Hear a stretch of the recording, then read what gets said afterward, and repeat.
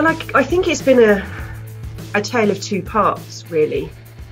The recent lockdown has been different from the one that we had we had that began in, in March. So my reason for wanting to share my story is to give um, some information about what it's like as a parent going through the pandemic with a child that has um, special educational needs and the impact that the pandemic had on what support that individual received and then how that impacted upon us as a as a wider family.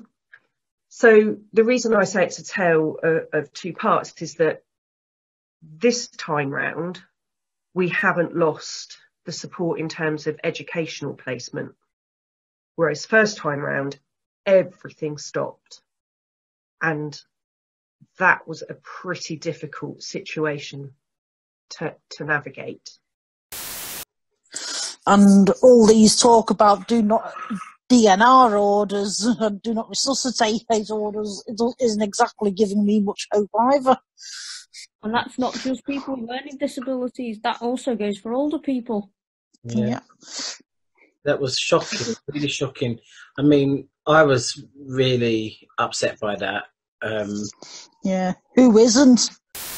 So, how did you find out about all of those um, do not resuscitate orders and uh, I saw I saw the the um what's the the um older people's one on the news but actually about the learning disabilities one I actually I actually eventually it took took a bit of a while but I actually saw and and somebody retweeted a tweet from the um, CEO of Voyager Care. Right. The CEO that actually tweeted out how disgusted he was that uh, people in his in the care of his uh, organisation were actually being given blanket do not resuscitate orders, and he was tweeting out his disgust with that. It particularly worries me about uh, people with learning disabilities who might have all, all manner of means of health conditions as well. Well, to be honest, I mean, if any of them, and oh, there's a few members of my family and of Paul's family that fall probably fall into that category easily. Right, um, if they're unlucky enough to catch the coronavirus and, and they need to go into hospital because they're um, and they could potentially serious enough that they could die from it. Mm. Um, um, what, um, um,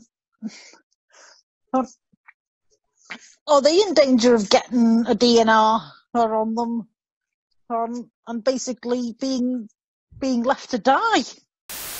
I think as well, actually, as an autistic person, and I've had this kind of feedback from different spaces in the autistic community, is that as autistic people, you know, going back to the social model of disability, there are so many things in, that society and culture expects of us in terms of social contact and going into very, very busy intense spaces in terms of social interaction and sensory input, dealing with multiple different demands.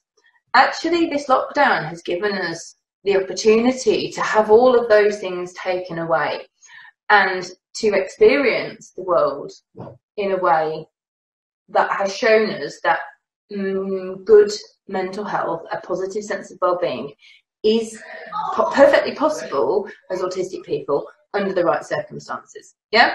yeah? So actually, the lockdown has been a really positive experience for lots of people.